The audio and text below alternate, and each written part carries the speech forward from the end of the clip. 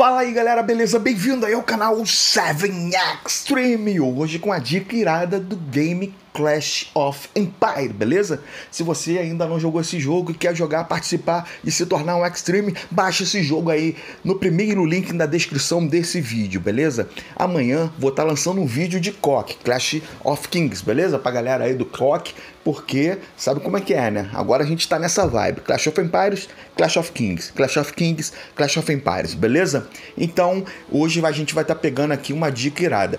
É, no vídeo passado eu fiz uma dica com qual as pessoas do Clash of Empires tinham muita, muita, muitas, muitas, muitas dúvidas que eram formações de tropas de ataque, tá? Quem não viu, não assistiu esse vídeo, é o vídeo passado aí, só vocês darem uma procurada aí no canal e assistirem que ficou top o vídeo mesmo, beleza? Então agora a segunda maior dúvida, se eu não me engano, uma das grandes dúvidas, são com relação aos usos dos leões, ok? No Clash of Kings a gente tem o uso dos dragões, aqui a gente tem o uso dos leões, beleza?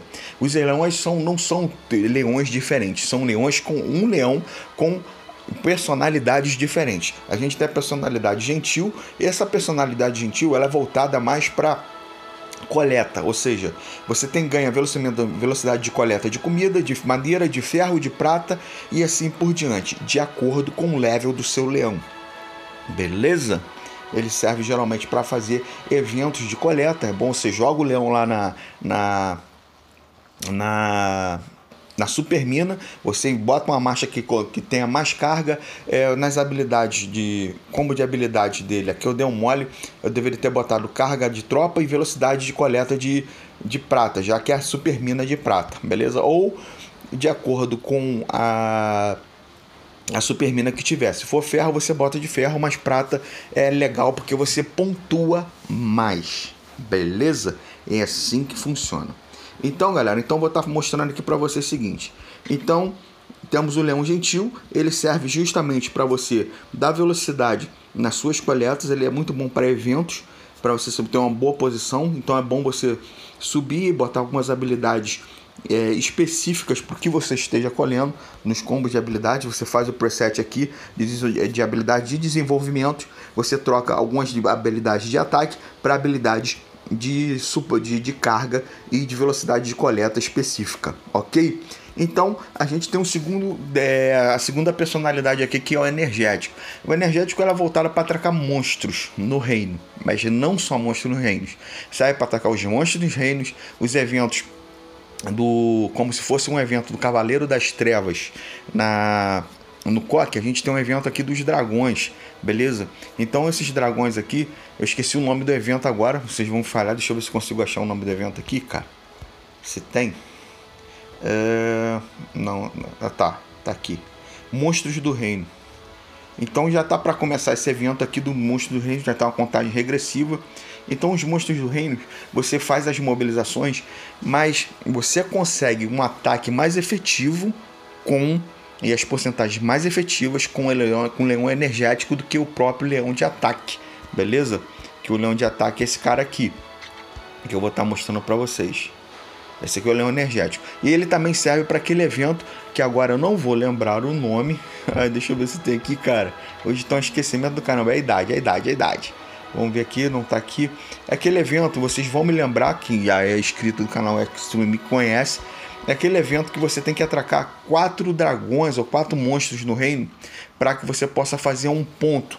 E as pontuações vão acumulando. Você tem direito. São um evento dura dois dias, duram dois dias. Você tem direito a 10 ataques por dia. Dentro desses ataques, a somativa de pontos é, são acumuladas. Quem tiver a maior pontuação tem uma colocação X e o pontos por ataque por dano também. Esse dragão, esse leão aqui serve para isso também, melhor do que o leão de ataque, beleza? Agora a grande chave, o grande mistério do jogo. a galera, tipo assim, não entende nada. Até o Brunão, cara, o Brunão, Brunão, aquele castelão fortão BR aí que tá no Reino 45, ele tinha essa dúvida de qual leão é para defender. Outro dia ele perguntou, pô, Seven, por que você defende o trono com o leão de ataque? Não é muito lógico isso. Porque a gente fez o seguinte, durante muito tempo, desde o começo do jogo, eu, Ayrton, o Brutus, na época, a Homoplec, a gente fez vários testes, fizemos várias observações e percebemos que para defender o trono, para reforçar castelos, o melhor leão é o cruel, é o leão de ataque, beleza? Para defender o trono e para defender reforços em castelos, o leão feroz, que é de força, que dá uma defesa maior, ataque da tropa de, ao defender, não defende muito bem ele funciona somente bem mesmo para defender o seu próprio castelo, deixando ele no seu castelo para defesa. Os atributos somados também tem esse detalhe. Não adianta você botar um, um, um, um, leão de tropa de defesa que aumenta o ataque das tropas ao defender, que a defesa das tropas ao defender e saúde das tropas ao defender, se você tem uma saúde de tropa baixa, se você tem um dano de tropa defensivo baixo, também não adianta de nada. Você tem que subir esses atributos aí na, com as glórias e na ciência do, do, do castelo, beleza? E agora a gente tem um cruel. Para que, que serve o cruel? O cruel serve para você atacar os castelos, para você abrir as mobilizações em outros castelos, para você abrir as mobilizações de ataque nas torres, na, no trono e também para fazer o evento do teste do tesouro, tá? O teste do tesouro é aquele evento que você vai atacando, você vai fazendo as suas formações, fazendo as pontuações e o ideal aqui é você justamente usar o leão que é o, o cruel, é leão de ataque para que você possa fazer um melhor evento, ok? Show? Entenderam de boa aí? Então acho que está explicado aí o mistério dos leões. Quando vocês forem botar, ah, vamos defender o trono. Leões de ataque, todo mundo. Ah, vamos abrir mobilizações em monstros, tá? Vamos abrir mobilizações em monstros, nos dragões. Leões, o leão energético. Ah, eu quero defender o meu castelo. Estou sofrendo uma mobilização. Leão de força. Ah, eu quero reforçar um castelo. Leão cruel. Quero atacar um castelo. Leão cruel. Quero atacar um trono. Leão cruel. Quero defender o trono. Leão cruel. Quero fazer o terra de tesouro. Leão cruel. Então, cruel, ele tá aí quase para tudo, beleza, galera? Então, essas dúvidas aí que vocês têm. Também tem o ponto do aprimoramento de habilidades tá? É bom você aprimorar as habilidades e setar essas habilidades aí de acordo com o que você for usar e de acordo com as porcentagens específicas do seu, do seu castelo, beleza? Aqui no meu combo de habilidades, eu estou usando aqui a taxa de lance crítico, é, dano de blocos de, de escudo, velocidade de arqueiro, dano de besteiros e danos da cavalaria pesada. Aí você fala, pô, Seb, e se eu fosse defender, tá? como o leão está fora, não dá para mudar. Se eu fosse defender, eu colocaria aqui. Cadê? Saúde dos arietes para defesa, tá? O reviver, se eu fosse para atacar um castelo, que eu tivesse a possibilidade de um castelo similar, que eu pudesse perder alguma tropas, eu trocaria o aumento de marcha, tá, pelo reviver que aí já é 5% de tropas que você consegue reviver e o aumento de marcha eu trocaria por isso. Então vocês sempre têm que elaborar as habilidades de assalto de acordo com o momento que você está passando no jogo. Tá? Não é tipo assim, ah, eu quero esse preset para tudo. Esse aqui vai ser para atacar, esse aqui vai ser para defender, esse aqui vai ser para pegar vento, esse aqui vai ser para pegar chuva. Não. Você tem que montar de acordo com o que você for atacar, de acordo com o que você, você for defender.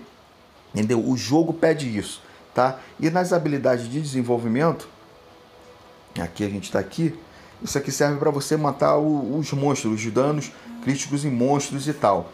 Aqui você sobe, quando você está atacando no evento de monstros lá, você vai, bota o dano de arqueiro, dano, dano de monstro na, na infantaria, dano de cerco, aumento de velocidade ao caçar monstro, dano da cavalaria monstro. Aqui você pode botar, ou como não tem mais um dano ofensivo, você pode botar carga de tropa ou coleta de prata. Para o evento que eu estou participando agora, seria ideal eu botar coleta de prata, a velocidade, aumento de velocidade de coleta de prata e carga de tropa. Tá? Mas eu dei mole, esqueci e vamos ver como é que vai ficar aqui. Eu vou só, só mostrar para vocês que eu usei o leão gentil para colher tá? A gente está em um evento de Deixa eu mostrar rapidamente para vocês aqui. A gente está num evento de. A gente está no evento de coleta. Classificação geral. Tá o Aspano com 17 mil lá, tá? Eu tô em décimo. E aqui na classificação do estágio tem uma aqui com 5 mil pontos, 5 milhões 943 mil 730 pontos, tá? E tem, eu tô aqui, tô em zero. Então a gente vai puxar essas tropas agora e ver quanto que vai ficar, velho.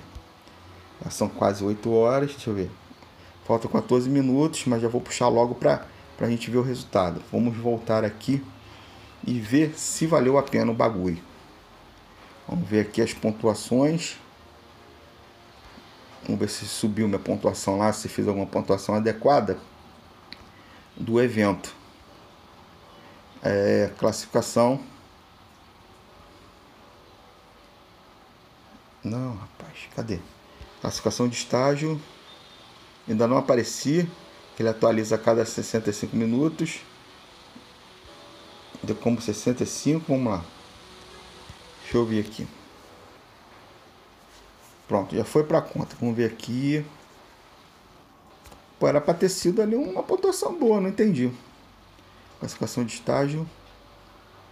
Cadê eu? Eu fiquei em 65, é isso mesmo?